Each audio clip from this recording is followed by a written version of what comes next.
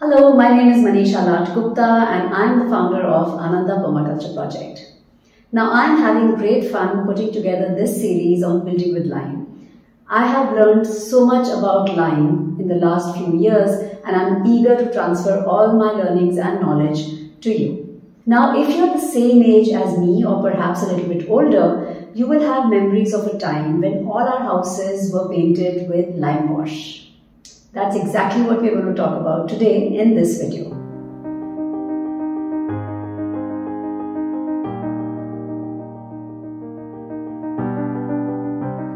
Now in the past few videos when we've talked about surface finishes, we've detailed out how you can do textured finishes with a simple lime and marble mix and we've also talked about how to do really expensive and labor intensive polished lime surface finishes.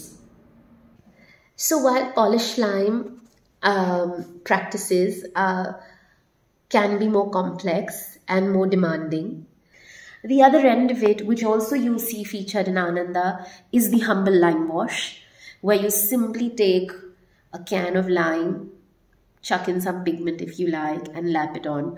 And this is actually a humble but extremely charming specification because one, it it is at the end of the day made of lime, so it has the lime particle, and therefore it doesn't have the cheap quality of say like a cheap paint or a distemper or whatever.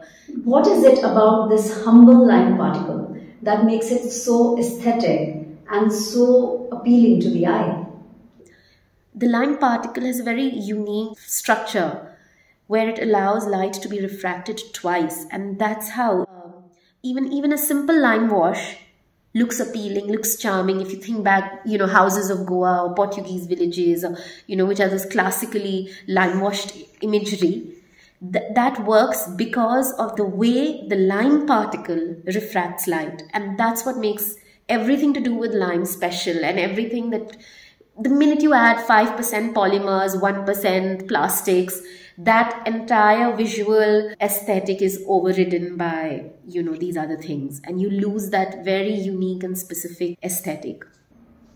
One of the reasons that the lime wash has lost out to the plastic emulsions that are currently available in the market is because lime wash needs to be repeated every year.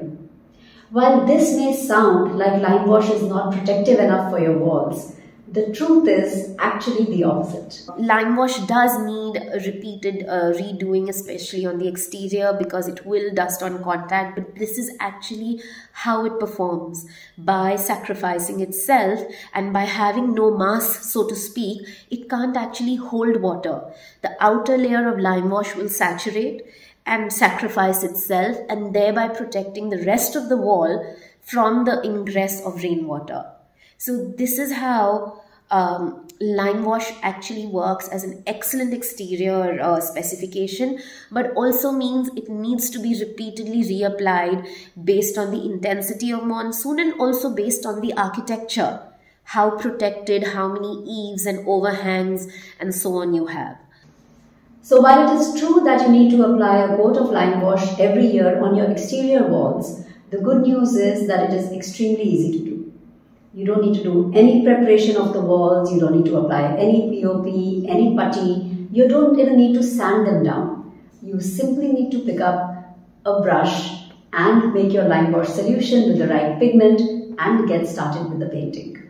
It is so simple that even an unskilled person can do it. Mixing pigments to get the color of your choice in the lime wash is extremely easy.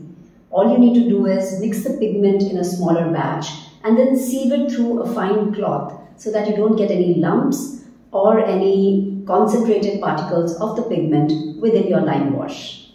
So there you go. We have a simple and natural product in lime to use for our interior and exterior wall finishes. I hope this series on lime have been educative and informative for you. If you find this content interesting, do share it with your friends and invite others to subscribe to our YouTube channel as well. I'll see you again with another interesting video on building with lime.